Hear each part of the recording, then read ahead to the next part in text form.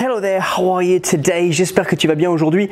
Dans la vidéo du jour, je vais te donner une astuce imparable pour ne plus te tromper dans les temps en anglais, dans cette grammaire anglaise. Peut-être que les temps aujourd'hui, c'est à anti. Si tu te dis, je ne vais pas réussir à parler anglais parce que je n'ai pas les temps qu'il faut, je ne sais pas comment aborder la grammaire. Reste bien parce que cette vidéo, elle est pour toi.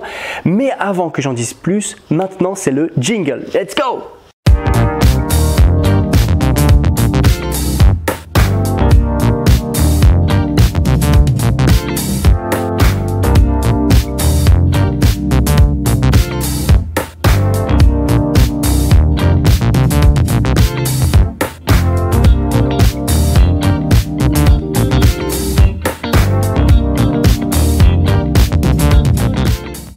Donc maintenant tu le sais, tu sais exactement ce qu'il faut faire. Il faut que tu t'abonnes à cette chaîne YouTube. Tu mets la cloche pour avoir toutes les vidéos. Tu peux faire now. Tu vas pouvoir aussi liker, partager, me laisser un commentaire en quoi ça t'aide cette vidéo. J'ai vraiment envie de savoir comment est-ce que la communauté réagit autour des vidéos que je fais. On est plus de 5000 au moment où je tourne cette vidéo, peut-être 50 000 au moment où tu regarderas, je ne sais pas. Toujours est-il que je vais te donner une astuce imparable aujourd'hui pour les temps en anglais. Alors, c'est quand même un cauchemar, hein, les temps en anglais. On ne sait pas, là, il y a des mots d'eau, il y a des auxiliaires, il y a les verbes, il y a le ED, il y a le S, troisième personne du singulier. Euh, on, on, se noie, n'est-ce pas? Et bien, il faut juste te dire une chose, on va faire deux paquets. Le paquet de ce côté-là, c'est tout ce qu'on va appeler les temps simples. De ce côté-là, ça va être le temps composé. Tu vois, donc c'est pour ça que j'ai fait deux paquets, temps simple, temps composé. Ce qu'il faut que tu te dises quand tu arrives face à la grammaire anglaise et le verbe, les temps là. Hein. Ah oui, j'ai pas parlé de cette liste à la fin de ton livre d'anglais pendant ta scolarité où il y avait des, cette page qui t'a traumatisé. Tu avais trois ou quatre colonnes et tu avais les temps à apprendre par cœur, ces verbes irréguliers. Enfin, bon, n'en parlons pas. On va parler de ce qui, ce qui fait du bien, pas ce qui fâche. Et en fait, on va juste se, se souvenir de ces deux choses. De ce côté-là, on va prendre le temps simple. De ce côté-là, il y a le temps composé. Donc, quand tu arrives face à la grammaire anglaise au temps, dis-toi, tu as le choix. Soit je vais avoir recours à un temps simple, soit à un temps composé. Et cette astuce-là, elle est excellente parce que d'un coup, c'est beaucoup plus synthétique dans ta tête. Tu n'es pas obligé de dire combien de verbes est-ce que j'ai? Temps simple, temps composé. Ça veut dire quoi? De ce côté-là, les temps simples ou le temps simple, euh, c'est un seul mot. Tu as un seul mot au niveau de la syntaxe. Par exemple, I am Scottish. Je suis écossais. ok? Ou I loved. Uh, I loved uh, her. I am Scottish, je suis écossais. I loved her, je l'aimais, elle. Et tu vois que ton verbe, il est ici. Alors je le souligne en, je en rouge. Il est là ton verbe. Donc tu as un temps simple. Il a un seul mot et scoop du scoop, tu as les deux seuls temps simples qui existent en langue anglaise, le présent en forme simple et le passé en forme simple. Ça représente environ 10% des temps. Si on devait mettre un pourcentage, hein, c'est pas.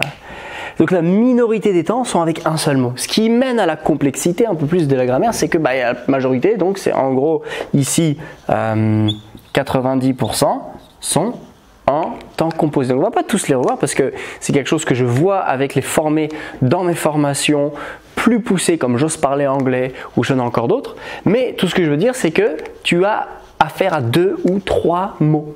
Deux mots ou trois. Euh, par exemple, I was watching telly. Souvent les phrases là vont continuer. Donc je regardais la télé. I was watching telly was watching, auxiliaire, verbe. Donc tu vois qu'ici, was, I am, le verbe être, c'est donc uniquement un... Euh, je suis là. Parce qu'en fait, il y a le truc qui se remet en... il y a mon, ma caméra, tu vois, qui s'ajuste. Je suis ici, you. Um, I was watching. Donc ici, c'est tout simplement l'auxiliaire et le verbe. ok? Et on peut aussi faire un autre exemple. He... On va rester en noir. Hein. He has visited New York. Alors tally, on est d'accord qu'on met avec un T minuscule. Et là, pareil, auxiliaire, verbe. Donc tu vois que là, en gros, là où ça pose, là où ça pose un peu plus problème, c'est de ce côté-là, parce que forcément, le temps composé va admettre plusieurs euh, euh, mots. Auxiliaire, verbe. Et, désolé, du, la difficulté encore plus, c'est que tu peux avoir un double auxiliaire. Alors, quand tu as un double auxiliaire, c'est uniquement le premier qui va faire office de réel auxiliaire, qui va te permettre de faire les questions et euh, les euh, interrogations, euh, les questions et phrases négatives. par exemple, she will have gone to Asia. Alors, attention, hein, Asia. A. C'est le diphtongue A. Et donc ici, tu as auxiliaire de modalité, auxiliaire 1, qui va servir de réel auxiliaire, auxiliaire 2, qui va être inaccentué, et là ton verbe au participe passé. Donc tu vois que quand tu es face au temps, dis-toi, j'ai deux options. Option 1, j'aurai un mot. Option 2, j'en aurai deux ou trois. Et forcément, ça va t'aider à être beaucoup plus synthétique pour euh, sélectionner le temps que tu veux. Euh, euh, utiliser, et surtout si c'est au présent, si c'est au présent en ing, si c'est au passé en forme simple ou c'est au passé en passé continu. Donc niveau des temps, hein, présent forme simple, passé en forme simple. Attention, pas le passé simple, passé forme simple, passé en ing, passé continu, passé progressif. Okay. Euh, present perfect et will have gone, on est à une forme de modalité qui est perfect parce qu'on a l'idée du present perfect avec euh, auxiliaire et verbe avec have, gone. Et donc, c'est, euh, on a une modalité ici avec will.